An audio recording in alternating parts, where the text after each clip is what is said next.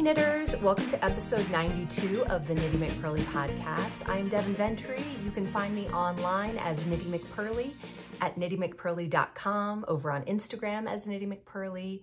Uh, and if you want to email me, I am devin at knittymcpurly.com. Thank you so much for joining me. I am so happy to see you guys here as always.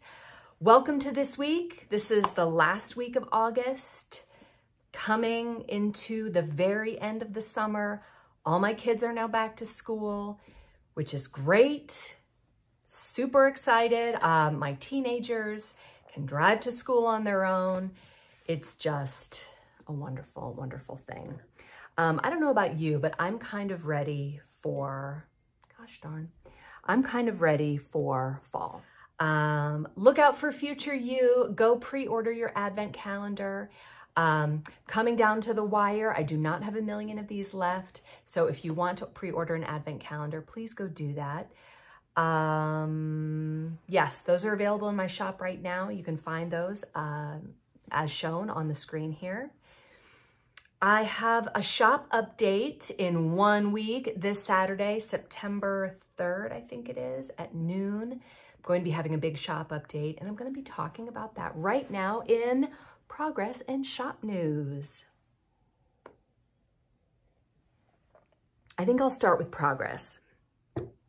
In terms of knitting, I didn't do a huge amount of knitting this week, but I made a lot of progress in other areas. So I'm still working on my Vesper sweater that I talked about last time. Uh, it just gets slightly longer every time. I I've been learning more about sleeves and we're going to talk about that today. I'm going to go deeper with the sleeve than a regular like dolman sleeve. We're going to talk about all that today when we get to sleeves. But I don't think I'm going to go all the way to the waist with the sleeve because I just don't think it's going to work out as a knitting pattern with different sizes. Like I just, I, I think that's, it's just a little bit impractical. But we'll see. We'll see. I'll keep you updated on that project as it progresses. It is really fun. I'm really enjoying it. I love that it's plain stockinette, but that I'm changing colors, so it keeps it a little more interesting. That's really fun.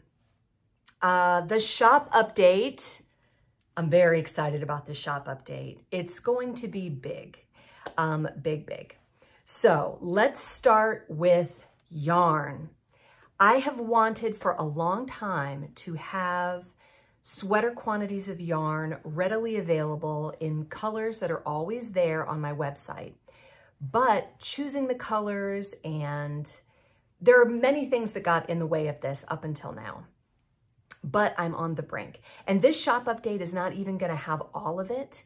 I have eight bases and 12 colors. So, you know, do the math. Um, that's the different numbers of things that I will ultimately have available. But right now, as of right now, I have fully dyed up four colors across all eight bases. And then this week I will get a couple more, but all 12 probably will not be up by this shop update. So I'm hoping again in September, later in September to have another shop update. I'm going to show you Bougie, which is a color I know a lot of you like and that is already done. Here I have kind of a, a pyramid of Fontaine, sort of off to the side there. But I wanna go through all the different bases that I offer. Um, we'll start with the chunkiest. This is St. Petersburg Super Bulky, and all the ones I'm gonna show you today are in Bougie, which is a really, really light pink. Um, St. Petersburg Super Bulky is 100% Andean Highland wool and it is non-superwash. I have two bases that are non-superwash.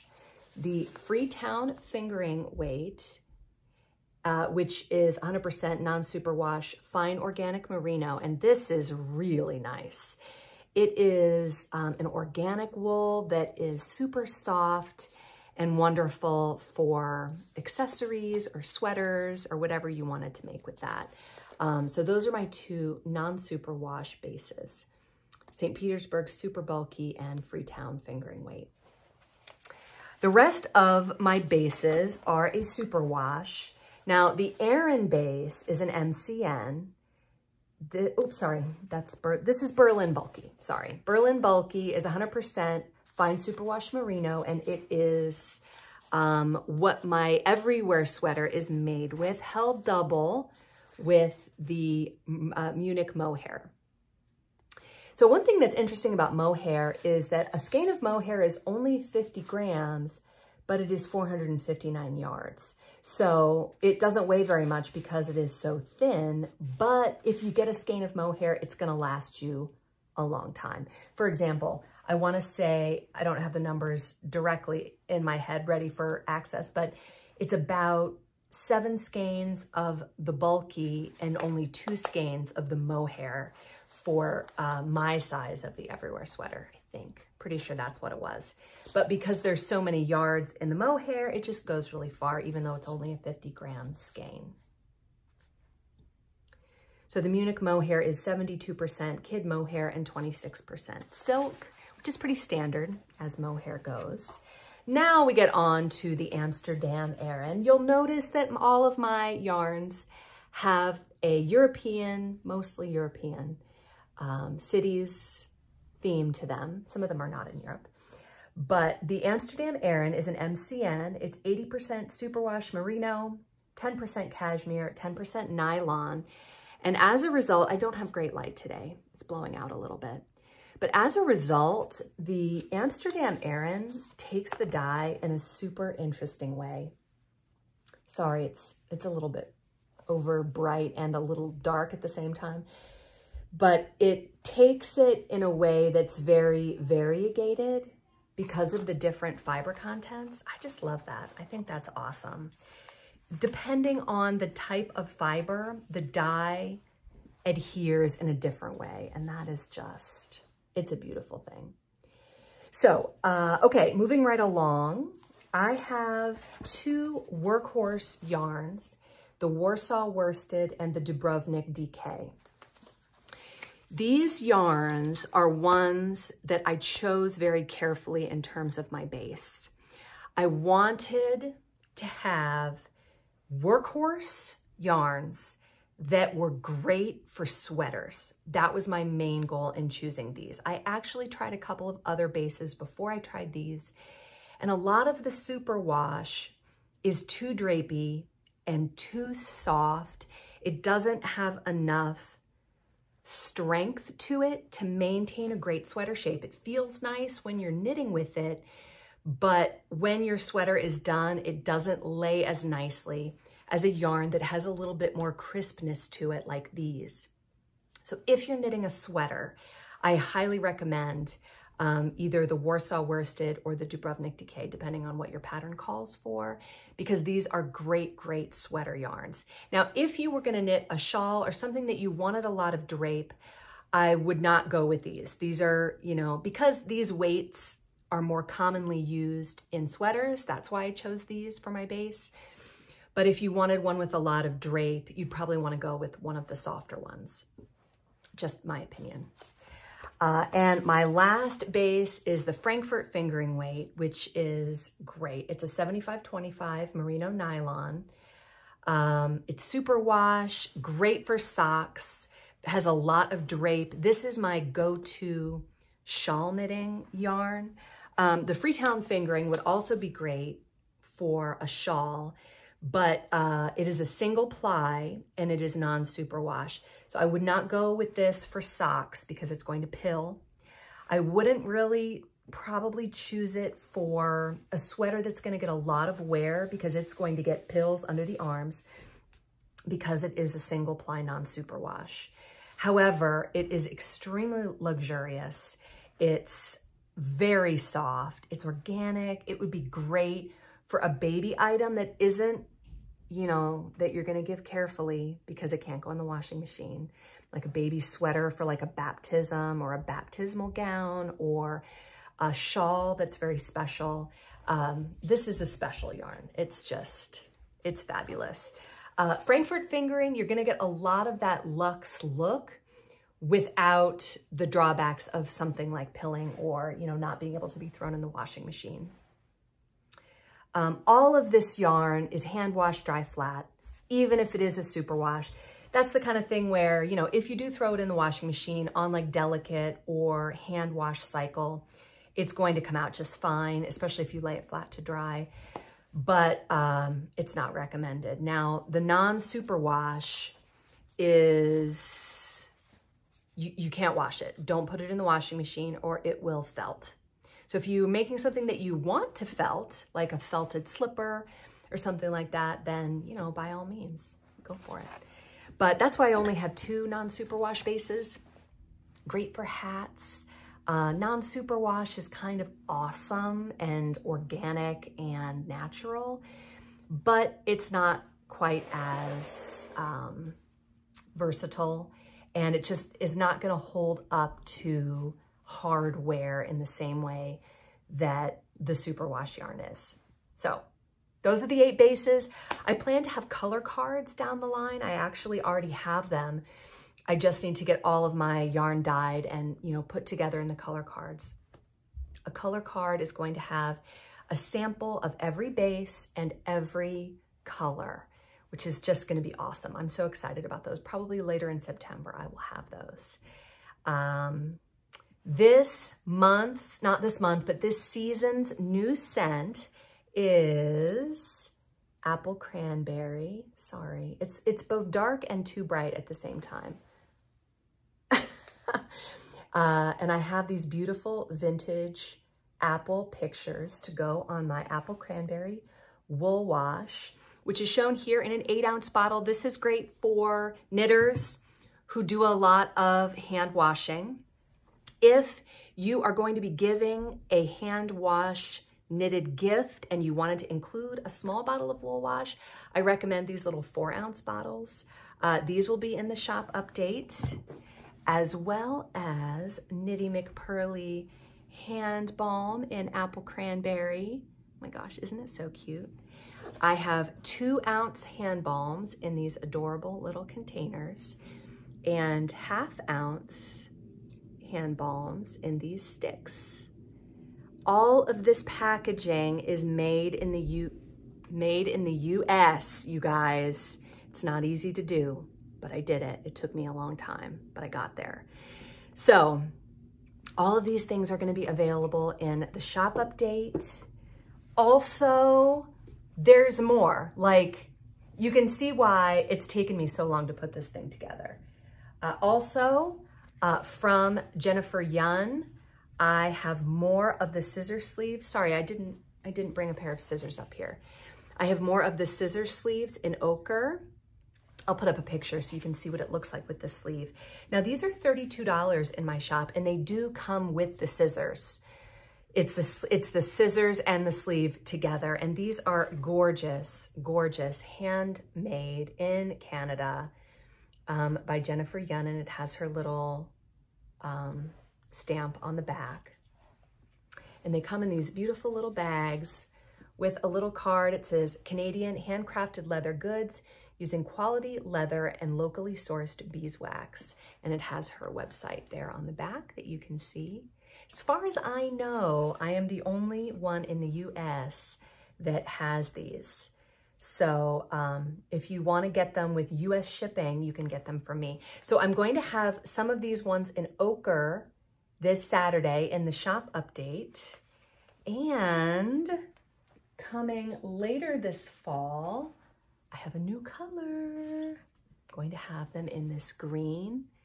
And the green is just awesome. I, I, I haven't come up with a good name for this color yet but you can see it just has some variation. Like as you bend it and work with it, it, it just gets a little bit lighter in places and it's just so beautiful. So if you are a green fan, these are gonna be coming up later in the fall. I just have this one right now. So what else is new in the shop update? Amelia needle cases. I don't have those right here right now, but I'll put up some pictures. Now, the Amelia needle case is um, finished in the US. I originally, when I first bought these, I reached out to my supplier and I was told these are made in the US. And I was like, awesome, great, where in the US? And they said, we don't know, we're not sure, but they're made in the US. Basically, the supplier called the information up on their whatever computer and it said this was made in the US. However, when I received them this time, they said they were made in Pakistan. And so I was like, well, it's not China, but I thought they were made in the US. So I reached out and I said, I thought these were made in the US. And they were like, we're really sorry. We thought they were too. Turns out they are made in Pakistan, but they are finished here in the US. The color is added and the finish is added here in the US. So partly US, partly made in Pakistan. But the downside to the old Amelia needle case is that it was a little bit small and it could only hold the size 18 embroidery needles, which is the largest embroidery needle, but not big enough for weaving in really fat yarn. So I wanted one that was slightly bigger. So the new and improved Amelia needle case is bigger and it holds both the size 18 embroidery needle and the larger yarn needles, as you can see uh, from the pictures. So I will have those in the three colors that you see up on your screen. I'll have those available in the shop update. It's gonna be great. I'm not gonna have every color of yarn, but I will have a bunch of colors. Also, one thing that I want to do in the yarn section is show how many colors, how many skeins of each color and base are available right now and if you want a sweater quantity, and let's say I have five in stock and you know you need eight, I want you to be able to pre-order a sweater quantity of eight to be sure that they all come from the same dye lot so that you have that option of not necessarily changing out each row as you're knitting because that's annoying and I don't like to do that. What I like to do when I'm using a hand dye is knit in one skein and then as I'm coming to the end, kind of fade into the next skein. And mostly that works for me. So I don't know, I just think it's kind of a pain to be constantly changing out as you know, you're knitting. But at the same time, hand-dyed yarn does have variations in it. It's not going to be perfectly uniform like yarn that was where the dye was measured out by a machine by, you know, granular weight. Us hand dyers, we get as close as we can. We try our best, but part of the beauty of a hand dye is that it is not perfect. You know, if you want something that's absolutely perfect, you know, you can buy just, you know, store-bought machine dyed yarn. But I think that hand dyed yarn has those variations and that's a part of its charm. That's a part of what makes it so great. So Anyway, I want you to be able to pre-order a sweater quantity so that you're sure that you get yarn that was all dyed together so that your chances of it all being the same are, you know, closer together. Does that make sense? I hope that makes sense. I, am so excited. I know I'm talking fast. So anyway, the shop update is on Saturday at noon Eastern time. So set your calendars, go sign up for my newsletter if you haven't done that already, because I will be sending out newsletters about it this week with preview pictures so that you can see what's available in the shop update beyond what I've just talked about right here. So, okay. This week's topic, as promised, is sleeves. I've been wanting to talk about this for a long time.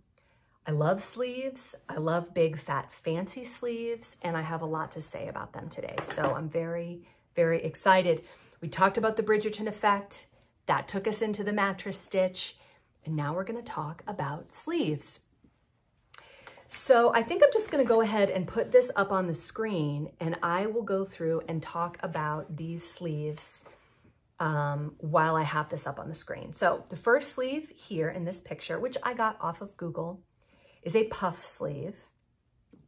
And I got a, an email from a podcast watcher who sent me the link to the video from Anne of Green Gables where Anne Shirley finally gets the puff sleeve shirt. And of course, you know, her Marissa, is it Marissa? Marilla? I forget. I forget. But she's like, she's so like annoyed with Anne. Anne's like, oh, I have the sleeves. And she's like, oh, you're not even gonna fit through the door. You're gonna have to go sideways. I couldn't figure out how to put that in my video. I think it's probably against copyright rules to do that, but I've linked it below. She sent it to me and it's, it's just adorable. So anyway, puff sleeves always makes us think of Anne Shirley. Uh, sleeve number two is called the leg of mutton sleeve, which we saw kind of in the early episodes of Downton Abbey. The leg of mutton sleeve was popular um, in the Victorian period. The third sleeve is the petal sleeve, which um, I think is very pretty, but I feel like if your upper arms are at all something you want to conceal, which I, I would like to conceal my upper arms. I'm not a huge fan of them. Petal sleeves kind of show them off. It's not really my favorite kind of go-to sleeve. Number four is a peasant sleeve, which is very similar to number seven, which is the bishop sleeve. And we're gonna talk a lot about the bishop sleeve. The main difference is that the peasant sleeve is kind of a puff at the top and the bottom, where the bishop sleeve is flatter at the shoulder and puffier at the bottom. Sleeve number five is very Shakespearean. It's the Juliet sleeve. Number six is the kimono sleeve, and I'm not exactly sure what sets this sleeve apart, whether it's just cut in one piece. That I think is, is what does it there. Um, sleeve number eight is a bell sleeve, which is very pretty, but not very practical. If you've ever tried to do dishes in a bell sleeve, it's just no. Now this one shown in this picture is also like a three quarter, which would be more practical. Uh, number nine is one of my favorites, the raglan sleeve. Here it's shown just as a very basic raglan. Now, number 10 is the dolman sleeve, and we're gonna be talking about the difference between the dolman sleeve and the batwing sleeve as we go on. And number 11 is the lantern sleeve. So this is just one person's opinion of the basic variations on sleeves. Now, I also printed out this one, which shows even more variations. I'm not gonna go through all the details of these, but there are more, and it depends on what your source is. They use they, they'll use words interchangeably, such as dolman and batwing. Now, somebody asked me, because I talked about the batwing sleeve with my Vesper sweater. A traditional batwing sleeve goes all the way or almost to the waist. And the sleeve comes up like a wing to be a traditional bat, batwing sleeve. I almost said Batman. to be a traditional batwing sleeve. And a dolman sleeve just has kind of a dropped armhole. So, however, depending on your source, some people do use dolman and batwing interchangeably. Now, because I knew we were going to be talking about sleeves, I got on Thrift Books and I ordered a couple of books. And these were like $5 um, because they're secondhand. This first one is called the Dictionary of Fashion and it is so much fun. It's a true dictionary, but when you get to sleeves, it goes through an alphabetical, yes, an alphabetical type of sleeve, all in one sleeve, a modest sleeve, sleeve with a tight cuff button at the wrist, worn, wrist, worn in the 1830s. So it's very detailed, which is really cool.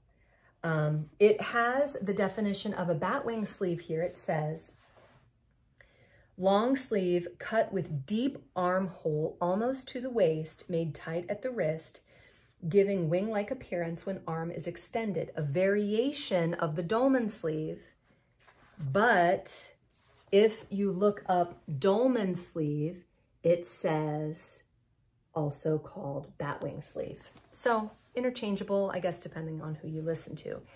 But there are lots of different pictures here. Here we have a bell sleeve and once again, the bishop sleeve. I love a bishop sleeve. I feel a bishop sleeve coming on. Like I feel like we're, we're going to be seeing some of that for me. It's very 70s, particularly with uh, like a vest type of a look with a bishop sleeve. I think that would be awesome. Um, but this definition is just so, I mean, this dictionary is just so cool. It has lots of different definitions with pictures. It's really cool. This is the third edition, um, the Fairchild Dictionary of Fashion, and I feel like it's going to give me a lot of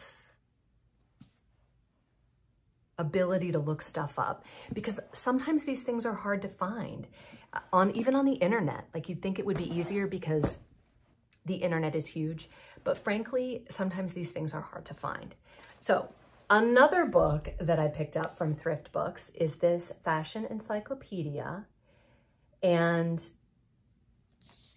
this is interesting because it's more like runway fashion, as you can see from the cover, but it does have a section on sleeves and it's interesting what they chose to highlight. A lot of ones that I really either haven't seen before or have seen under a different name. For example, this here is called a balloon sleeve, but that to me looks like a leg of mutton sleeve. So, you know, I guess it depends on who you're listening to. Here we have a picture of a cap sleeve and a bishop sleeve done in a very kind of 70s manner with those opaque tights. So fun, so interesting it just makes me want to go crazy with knitwear design and sleeves, but this is kind of what happens to me this time of year. As soon as the weather cools off, I go crazy for knitting. Now, here we have a picture of a backless dress with a dolman sleeve, looking very 70s, very late 60s, early 70s. And this is called a gigot, gigot sleeve, but again, looks to me like leg of mutton, right? So you know. Here we have a sleeve called a pagoda sleeve. Very interesting. Um, this sleeve is not this exact one, but another variation of it is shown in the dictionary with another name, like a hanging sleeve, where the sleeve kind of overhangs where your arm sticks out. But, you know, I guess there's as many variations as you want to do. Here we have a sabot sleeve, which is this one here, and a slashed sleeve, which is very like, um, if you watch any period pieces of like, you know, Henry VIII or, you know, that time period, you see a lot of things like this. But a lot of these are historic and, you know, maybe haven't come back, but it would be cool to see those come back. Here we have uh, cuffs, Agente, agente, sleeve cuffs made up of scalloped ruffles of fine lace or cambric, worn singly in double or triple layers during the 17th and 18th century, as shown there. The fluffy sleeves, basically. And here we have a few different type of cuffs, which is slightly less interesting because uh, those would not be knitted. But that's really it. After that, it goes to construction and shaping, and you just see all sorts of interesting pictures there. So if you're interested in stuff like this, I highly recommend buying books like this used. You know, knew this was a $30 book, but I'm guessing it was published in the 90s, maybe? Let's see. This was published 2015 does not look it. I would guess late 80s, early 90s, but I think, again, I paid like $5 for it used. So uh, thrift books, I think. But there's another book called, um, another uh, website called A AB book, ABE Books. Abe Books, is that it? But you can find lots of good used books on the internet, and they have even more information than the internet itself. So as you may have guessed, this week our word of the week is sleeve. And it comes from the Old English West Saxon sleeve or slef, meaning the arm covering part of a garment, probably literally that into which the arm slips, from the Proto-Germanic, Middle Low Germanic Slaven, which means to dress carelessly, as if, you know, to say like slovenly, interesting. The Old High German slaufen, to put on or off. It's also related to the word slipper, uh, from the Old English, meaning to slip on or to slip on over the arm in the case of sleeves. So to have something up one sleeve comes from the 1500s because large sleeves used to double as pockets, which totally makes sense, right? Um, to have a card up one sleeve in the figurative sense was like to have a hidden resource from the 1840s, once again, to have a card up your sleeve is to be considered like a cheat. When was the printing press invented? Was that in the 1840s or right around there? Because that would make a lot of sense why a lot of these things date from there. Uh, to wear one's heart on one's sleeve is from Othello, Shakespeare's Othello, and that's from 1604. So, all you ever thought you might want to know about sleeves, or maybe more. Okay, knitting fantasies.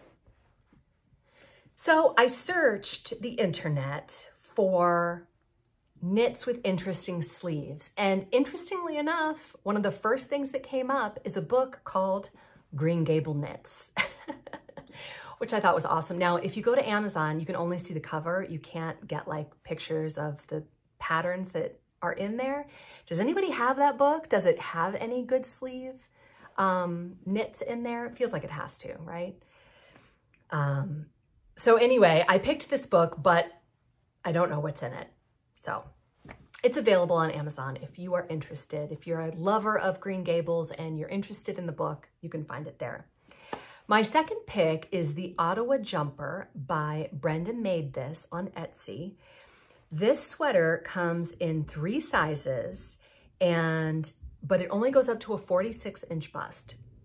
So depending on what your size is, um, you know, if you'll fit into either the small, medium, or the large, if that would be a good fit for you.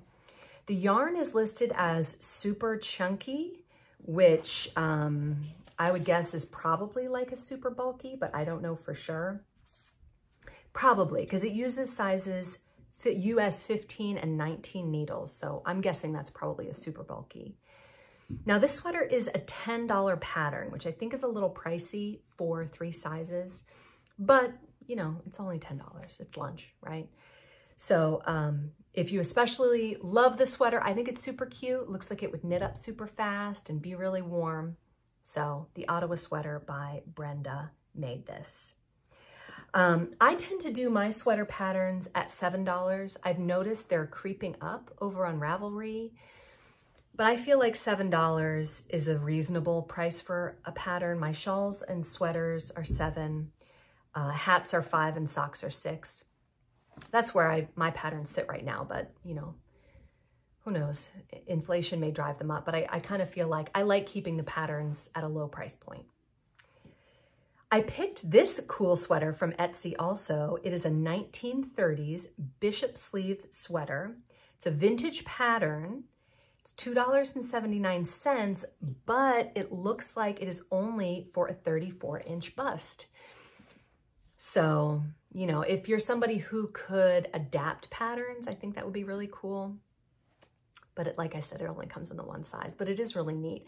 I really like the look of old vintage patterns. I love how it says to use double pointed needles. And if you don't have them, just pop the caps off your needles and use a knife to sharpen, sharpen one end.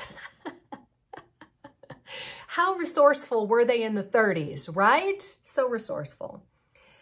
Um, my last pick is this gray sweater with seed stitch and braided sleeves from Love Crafts. This pattern also comes in three sizes, but it is a free pattern. Um, I thought it was really cute. It only has this one picture. I like how there are kind of the holes in the sleeves around the braid. It's not just like a traditional cable. It's, it's braided in such a way that it leaves holes, which I think are really cool and interesting. Um, so anyway, you know, you can search them up, patterns with interesting sleeves if you like that. I have a feeling I'm going to be putting out a few myself because I love cool sleeves.